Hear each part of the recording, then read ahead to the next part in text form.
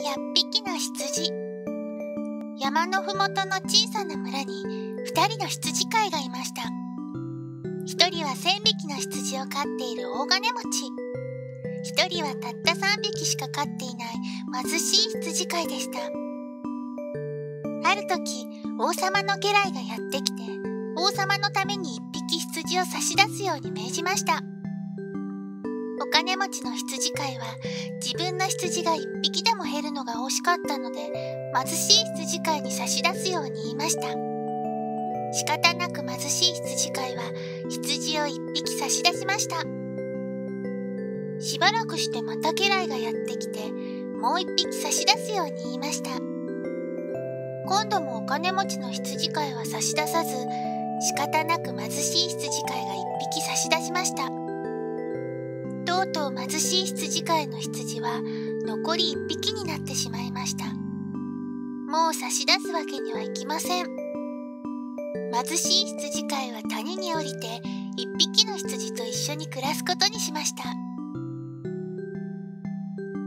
ある時ボロボロの服を着た汚い姿の旅人が貧しい羊飼いの家に訪れました。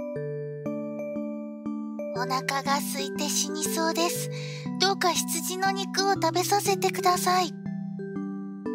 貧しい羊飼いは驚きましたが、旅人があまりに気の毒だったので、最後の羊を食べさせてあげました。ありがとうございます。この残った骨を羊の皮袋に入れておいてください。貧しい羊飼いはその通りにしました。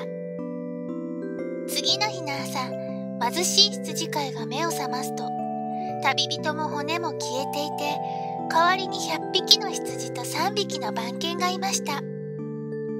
旅人は実は神様で貧しい羊飼いに贈り物をしたのでした。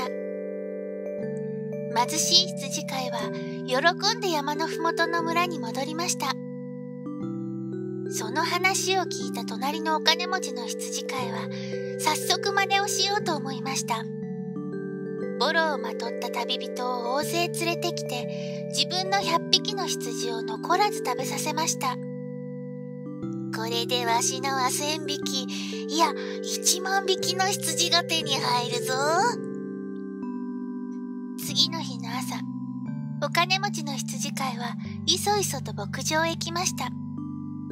けれどもそこにいたのはボロをまとった旅人たちと皮袋に入った100匹の羊の骨だけでした。おしまい。